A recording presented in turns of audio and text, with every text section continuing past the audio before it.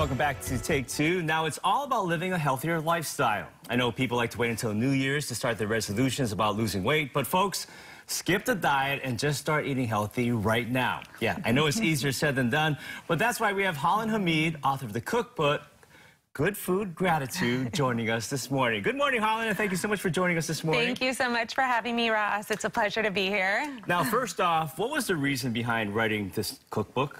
So I started eating healthier about 12 years ago. I mm-hmm. had some symptoms and some different illnesses that I just couldn't get a hold of before I turned 30.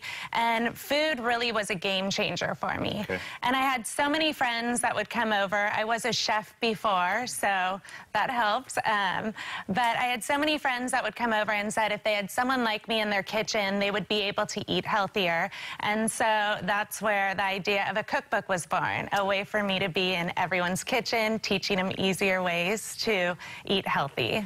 The key is easier ways to do it. Now, yes. what do we have here? so this is my cheat cookie dough. Okay. Um, it is so easy. It actually just has four ingredients. They're interchangeable and absolutely delicious. I think you're going to help me make it today. We're going to prove the theory. How easy can it be? Well, so how, what do we need to do? So we're going to start. This is almond butter. I always start with organic ingredients. You can use peanut butter, cashew butter, um, anything you like. About half the jar. In the recipe, it calls for half a cup. And so you just kind of want to make it like you would a cookie, a cookie dough. And our sweetener today is actually going to be maple syrup. Okay. And I'm just going to have you pour that in. So for people that are like, well, I need to measure exactly, you're not a big fan of that, or you just kind of like... You know, if you feel like you need to measure, that's about perfect. Okay. And I'm going to have you go ahead and stir it with this spoon, and we'll see where it is. If you feel like you need to measure, do that. But as you become more comfortable, um, I don't think it really is necessary. And this is just something that I started making when I wanted something sweet and I mm-hmm. wanted to feel good about it. Um, and so you can kind of see it's looking like a cookie batter consistency. What's your whole overall message in terms of the cookbook and your teachings?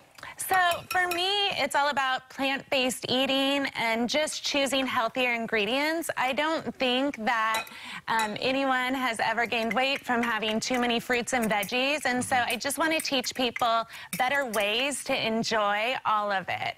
And I think that you can have anything in a plant-based form and not lose your love of food. So people that maybe might crave some protein, there's alternatives if you go vegan. Absolutely. Like these are protein balls because we're using almond butter and then an almond flour. I'm going to have you put in just a little more. I was going to ask. I'm like, is it enough? It's perfect. It's about a cup in the recipe. Okay. Um, so you want to, so it's easy to figure it out. Like if we know it's about a half a cup of um, almond butter and then a cup of almond flour, that you can just go ahead and put about double the amount in.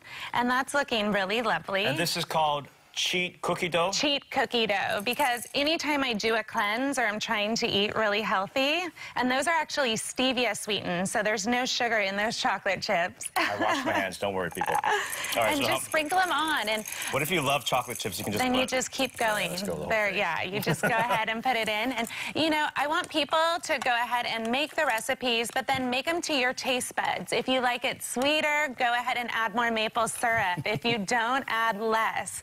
And so those are looking really lovely. I'm this is a lot of chocolate chip. This is how I like my cookies. That's right. All and right. you can always bake these, just so you know. Okay, just gotta add more almond flour. What are some of the healthy choices that we can all make, especially during this time of the year coming up on New Year's, everybody wants to start a new diet and so forth. Absolutely. I think one of the things we can do is always add smoothies into our diet. Go ahead and add salads. I know it's hard once we're actually hungry to make good choices. Oh, look at that ball. That's beautiful. um, but just any time you can eat and make a healthy choice, like say if you want pizza, go ahead and get a salad and a smoothie and then see if you still want that pizza. Because normally once we're full, we don't have the cravings for food. So what about like with people maybe fall off? Any advice um, in terms of falling off the wagon? Absolutely. Be easier on yourself. Just go ahead and get back on it. You know, all of us make mistakes, myself included. There's times Oreos are vegan. And the thing is, is you just have to go back to making healthy choices. Also know why you're doing it, right? For me, it's all about vitality in my day. I love feeling good. I love having energy. And so just making those choices consciously, knowing that you want to eat foods that make you feel good. So maybe instead of having Oreos, eat something like this, hit your taste buds, and then feel good about it. It's called the Cheat Cookie Dough, and it's in her book. Now, Holland, would you want to try my lovely creation here? And give Absolutely. me a, a Cheers. rating here. Cheers. Delicious. Mm. C is for cookie, and cookies for me. All right, so if you want to start eating healthy with some easy, affordable recipes, you should go check it out. Good Food Gratitude, and you can get it at hollandhaiis.com. For more information, just log on to our website at k22.com. All right, coming up next, an event that brings holiday cheer to our Kupuna.